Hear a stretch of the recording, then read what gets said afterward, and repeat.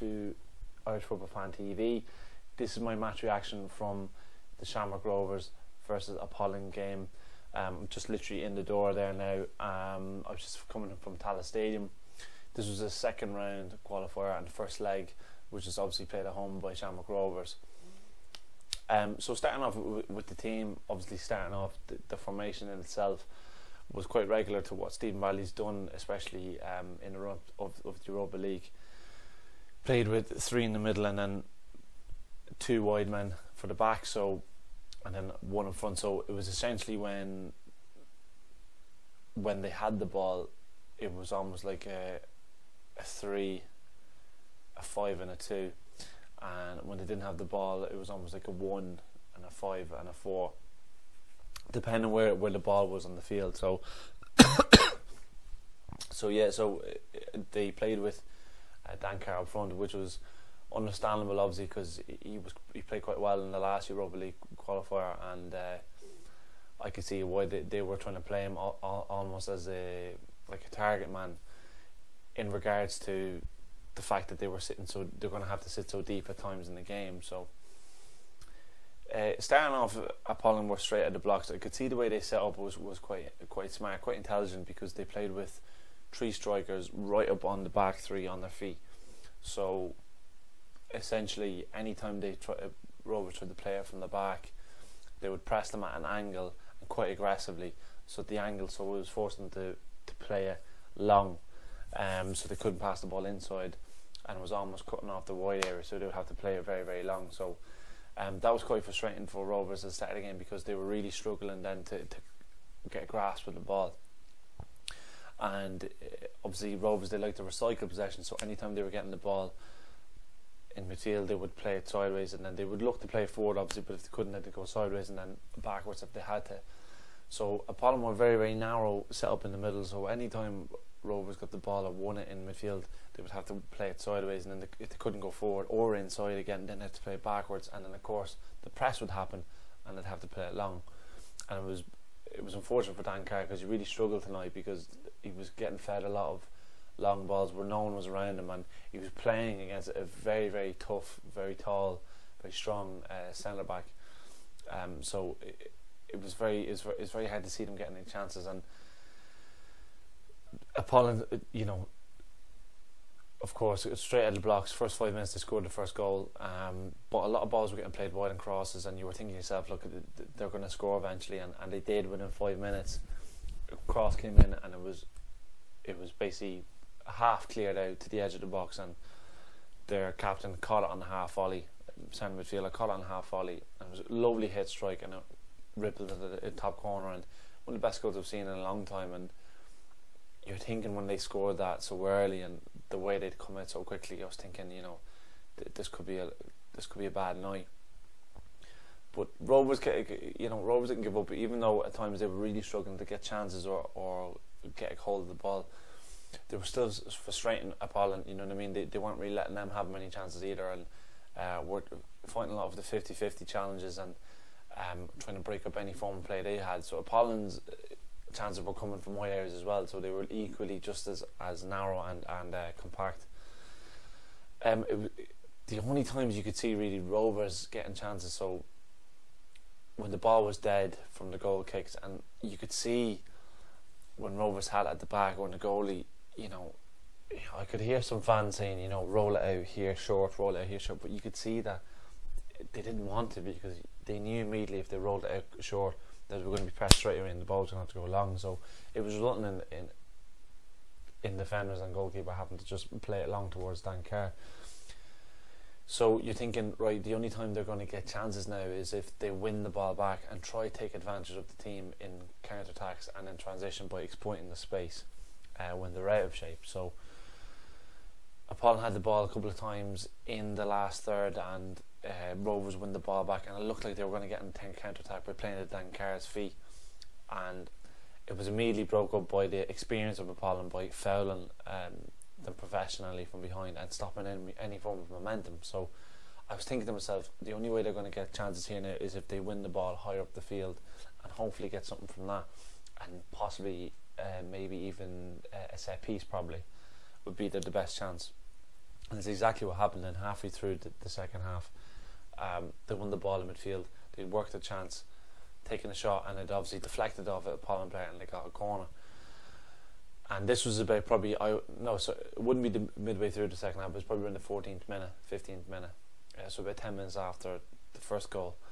And ball had been crossed in, and of course uh, Lee Grace heads it across, goal goes in the back net. I thought for a second Dan Car- Dan Car- just got his foot to it and put it in, but uh, no, it was uh, it was it was a goal for uh, for Lee Grace. So yeah, the, the first half, like Apollon after that, was still quite organised, and you were struggling to see, you know, it, it was really up for grabs the game really, and and it was still the same kind of thing where Rovers were really struggled struggling to kind of create chances that anyone's were coming from wide areas, and Apollon weren't really creating many either. So at half time when they're coming off, it, you were thinking it was up for grabs, but I was kind of getting excited, thinking to myself, you know, the second half's going to be very good because usually in these games they are because, especially Rovers now, they're more than midway through the season, so fatigue is now going to set into the team where, um, although the players are fit, they're not fre- they're not fresh anymore. Do you know what I mean? Fatigue has accumulated over the season, and now you're going to see mistakes from both teams and things open up because Apollon weren't going to be able to press from the front the way that they could in the first half, and you just knew that was going to be the case. And that's what happened in the second half straight away. Literally, the, probably the first 25 minutes, and I'm not even I'm not being generous there. The first 25 minutes, it was all Rovers, um, straight out of the blocks, um, 50-50s, everything. We're winning them, and they were just getting the ball out wide as quickly as they possibly could, forcing Apollon in certain areas to to foul them in in the corners and things like that, uh, constantly crossing the ball in across. Then they'd win it at the other side and they'd cross it back in again. And you're thinking like like um, not only are they, they, could they go ahead here, but it could be three or four. And they got a, a free kick at the very start of the second half straight away, and Jack Byrne just put it wide at the front post, and that kind of set the tone then for for the rest of the half. Ball went, went wide again, and uh, they won another free kick crossed in.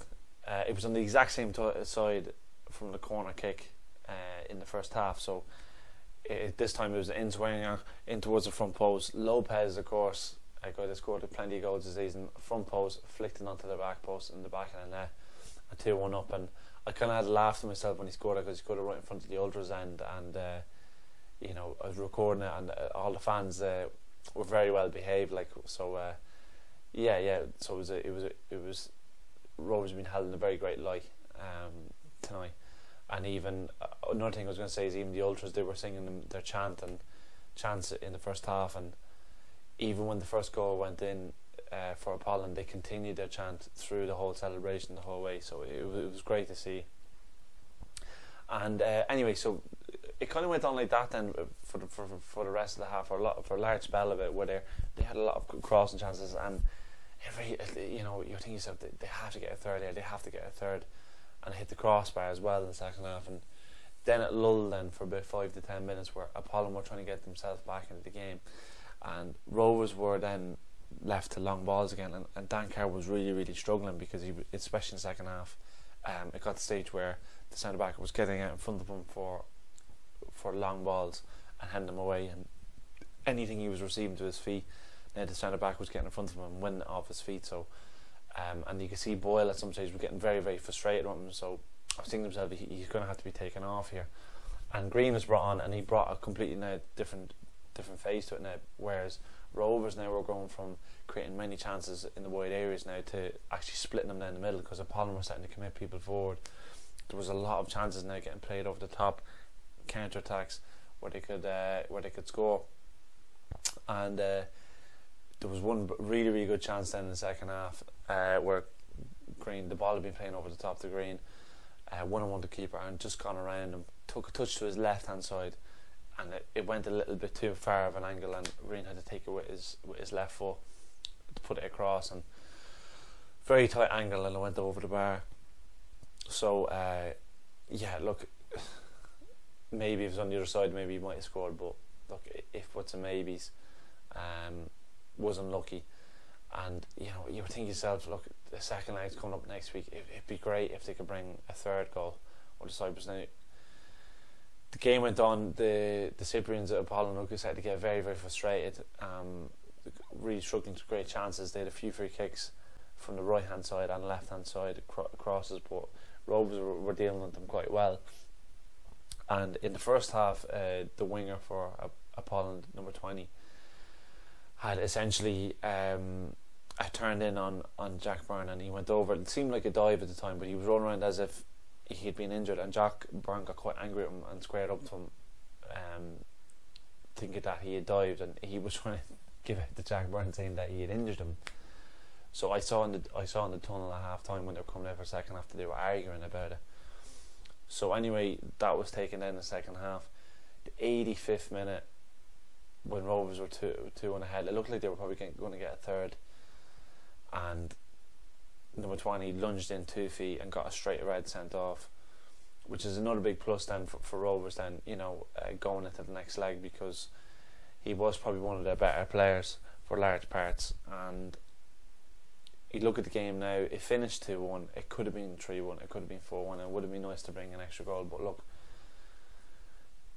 if they can just make sure that they're very hard to beat away, you know, any form of a draw is a plus. You know, uh, nil all, one, one all. Look, as long as they go through, it's all that matters. But it was really a good night tonight. Very, very professional from from Rovers, I would say, in their performance. Very, very uh, organised and um, how they handled the whole occasion in, in general.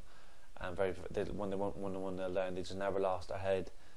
Uh, continued to plug away, kept their shape, and uh, even though there were some great chances in the first half that didn't let them down in the second half, they, they knew that obviously a 10 15 minute gap was going to come where they were going to have some sort of momentum, and they took it with both hands and made sure that they got themselves ahead. So, and uh, even when they were behind and they were struggling, they made sure that they were getting some chances. So, yeah, it was it's all around. It was great night, great night of football, and uh, yeah, um, really looking forward to seeing the second leg next week.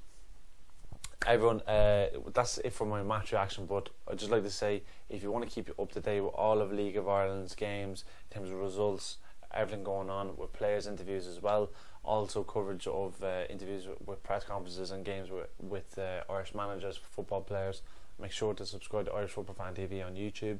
Follow us on Instagram, Facebook, and Twitter. Okay, thanks very much.